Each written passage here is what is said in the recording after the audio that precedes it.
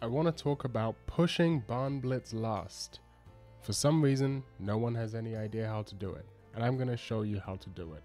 And to do that, I'm going to take you, first of all, to a completely different map. I'm going to take you to PL Badwater. Um, so, as you can see, let me not use the Thompson. Uh, where's my no no clip not working? What the fuck? Mm-hmm. Clip. There we go. So, when you're pushing Badwater first, what do you do? You Uber out, the snipers over there, you push the cart, and you push the cart all the way through the tunnel until you get to about here. And then you stop. Why do you stop? Because they have a level 3 up here or up here pointing down at the cart. And then you can't push it any further because they have a nest up there. So what do you do? That's right, you come back over here, you go up these rocks, and you take control of the high ground in order to destroy the level 3 and anyone who's spamming down. And then once you have control of the high ground, you're free to push the cart to the first point. It's the same on Badwater Second. They have sentries up there, so what do you do? You take control of the high ground, and then you can push.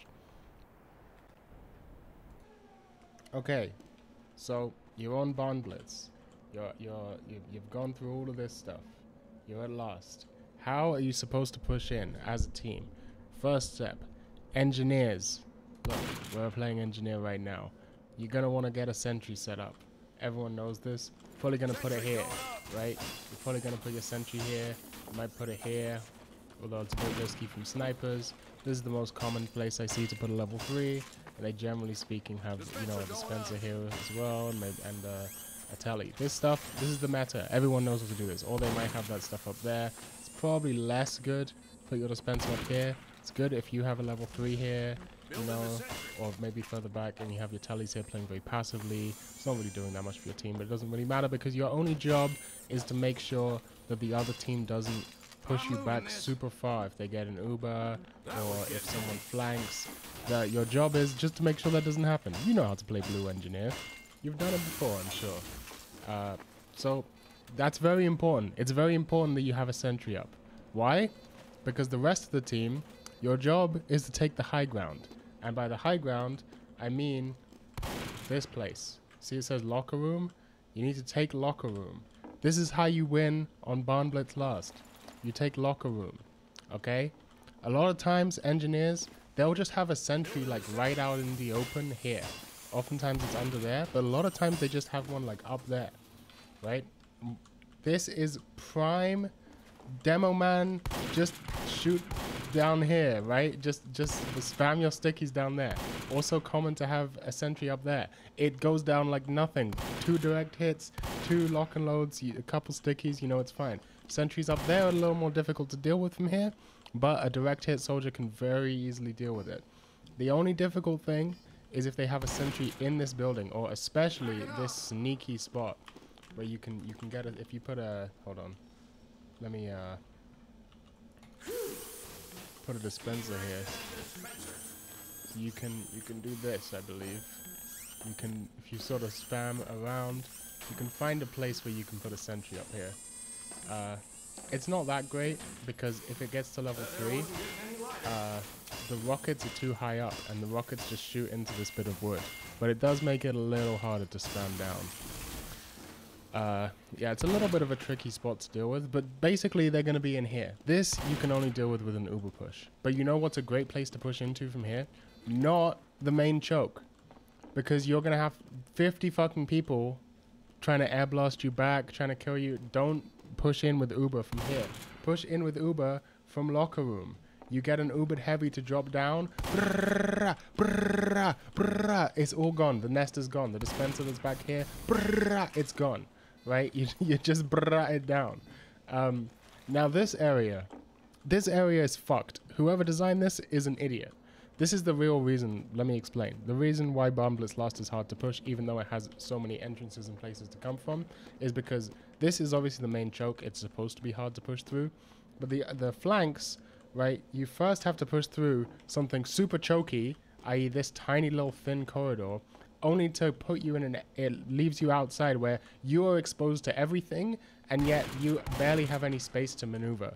It's the same up here. oops, you push through uh, this tiny little choky staircase that's always got you know pipes and stickies on it, and you get and then what do you get? You get this tiny little choky area to maneuver around. But if you've already pushed locker room, it becomes way easier to push up here because you can spam down sentries over there and more you just apply pressure to anyone visible. You know it's just better. It's just better is what i'm saying. So take locker room first then take this area and then it's over for the other team. Then red is just done. If you have both of these areas you you're you're it's over. Right you've won you've won the match. But here's something important for the engineers out there engineers you're very key you have to have that sentry up there because otherwise, while the rest of your team's pushing, focusing on locker room, you know, maybe you have a couple people holding down the choke, but it's very easy to get flanked. So, or not to get necessarily flanked, but for the for the other team to push you, push pretty far back. You know, I've been pushed all the way back to spawn before. It's not good. It's not fun. This is why your level 3 is very important. But what I want you to do, engineer, is that when your team is pushing, when they have the uber push, you need to move your sentry to here. If you see that the cart is being pushed like this area, like it's gonna win, it's gonna be a successful push. I've lost when the cart got to here. I have lost. They have pushed us all the way back. It's happened. As soon as you get your sentry up there, everyone else is gonna be focused on stopping the cart. You get your sentry up there, it's done. It's actually over. There's nothing they can do. If you can get a sentry up there while people are distracted by people uh, on the cart late, you know, you've just done. Demo man. I'm a demo main myself. You need to be sticky spamming. You need to be spawn trapping them here. Do not them do not let them leave this spawn. This spawn area is too far away. If you've already pushed here, it's too late for them to do anything. So you they know to do this already. Every demo main knows to do this. We all love to sticky trap the uh, the the spawn doors, but just in case, you need to be sticky trapping the spawn doors. It has to happen. Uh, that's once you get an uber push. You get the Uber in, you want to be dropping down from here. Because if you get the Uber in here, it looks like, oh, look, we're already out of the choke. But you're not actually out of the choke. This is the real choke. This point is the real choke. You, you're never, if you're ever here, you're fucked. if you're ever here as like any of the slower classes, you're dead already. Pyros, I'm going to need you to switch off Pyro. Uh, you're not going to be able to help your team push last if you're playing Pyro, even with the Phlog. It's just not going to happen. Maybe the Dragon's Fury could make something work, but you don't need to, don't be on Pyro. Just don't do it. It's just, it's not worth it. Uh, you know, soldiers, you need to be up here. You need to be spamming down sentries. You need to be spamming the spawn. You need to be doing all that stuff. Like, spies, you're incredibly important. This is all fucked up because of sentries. So spies, what I need you to do, I need you to get this damn dispenser. I need you to get the dispenser. Why? Because once whoever does it destroys the sentry that's here or here or up here or up here, once the sentry's down, up there is maybe less important, but once the sentry's down in one of these other areas, I've even seen it back here, it's not going to matter if the engineer has the jag and uh, a, a dispenser, a level 3 dispenser. They can stand on it. Did you know you get double metal if you stand on it? I mean, you're not going to see it because I've got infinite ammo right now, but you can just stand on it and within like, you know, it barely takes any time to get a, a sentry up to level 3 again. And then, then you're back to square one. You're back to you're back to nothing. So you need to be dealing with the dispensers, guys. I'm to need you to, to get the dispensers. Uh, it's very important. Look, that's how quick it was. That's easily enough to, to, you know, stuff a push and completely ruin the game for everyone. uh, snipers, you know what you're doing. You're already doing it. You're doing. You're standing here and uh, missing your shots, and that's fine. That's what you're supposed to do. Make sure the med takes 50 damage from time to time. Uh, medics, be up there. Be up there and hanging way back. It's it's it's it's it's pretty easy. You should be being up here, helping your team. You got soldiers, demos, power classes, heavies. Everyone's up here.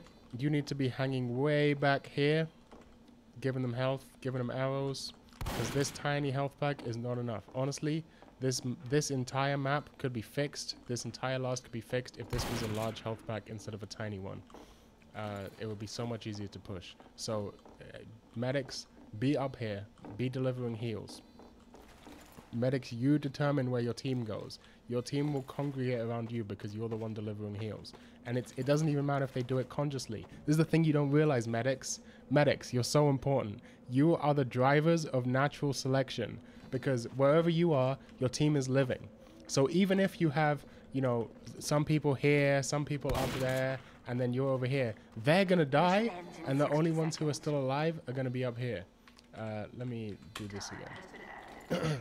So you gotta be healing your people up here. You gotta be healing your people up here.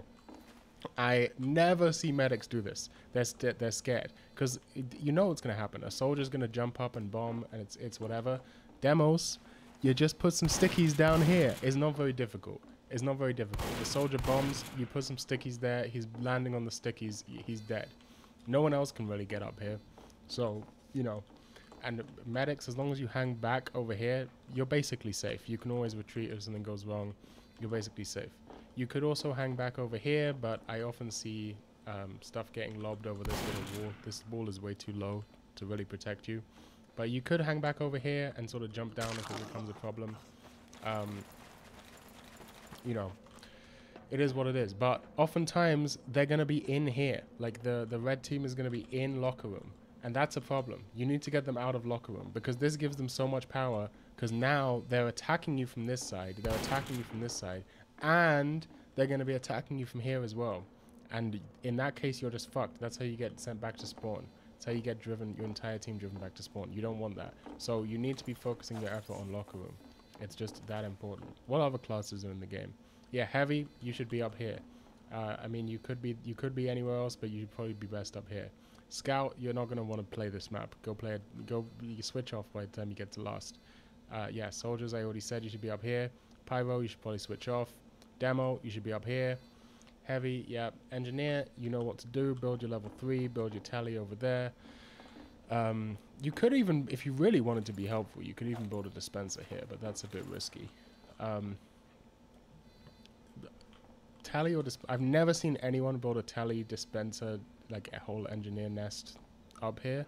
I feel like it probably could be pretty effective, but uh, it's also very vulnerable to spam, so uh, you know, your mileage may vary. Yeah, I think we've, and spies, you know what to do. You all do the same thing. You jump on this lamp for some reason, and then you get back here, and then you, like, bully the engineer. That's fine. You need to be bullying the engineer. That's your job. Uh, get the snipers, get the engineers. Snipers are very annoying to deal with on that Blitz Lost, because they're so far away, there's basically nothing you can do about them. The, the answer is, you can have your own snipers, Problem is they're going to be vulnerable to all the spam from this tiny choke, whereas the red snipers are just completely chilling back here. So in reality, it's not even very good to counter the red snipers with your own sniper. The best option is to just, uh, I don't know, pray. The best option is just to pray that they miss their shots, push in as a team, and then overwhelm them. They're going to fall back into here. Your demos are going to be sticky spamming, and then you'll be fine. So that's how you push Blitz Lost. It's the only other way I've seen it successfully pushed is push locker room. Take locker room first, then take this upper section, and then once you've got that, they have nowhere left to, to build. Any sort of uber push is gonna absolutely destroy them. That's it. That's Barn Blitz. It's not as hard as people make it out. You just have you're just approaching it wrong.